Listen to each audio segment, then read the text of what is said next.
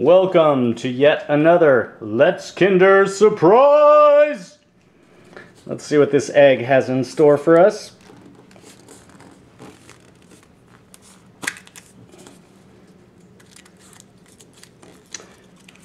And this piece seems to require no assembly whatsoever. My least favorite type of Kinder Eggs. However, this is from the Spy Gadgets Kinder Egg line, and it has quite a few different gadgets.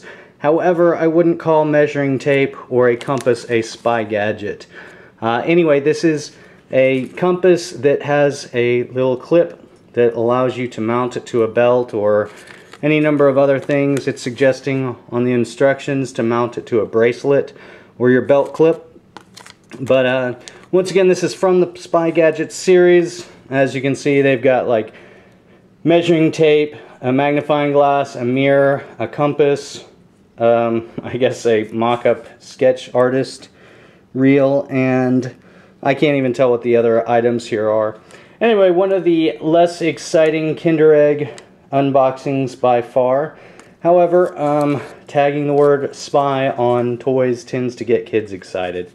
Thanks for watching, guys. Don't forget to subscribe and click here for our Kinder Egg playlist. Please check back for more videos and have a great day.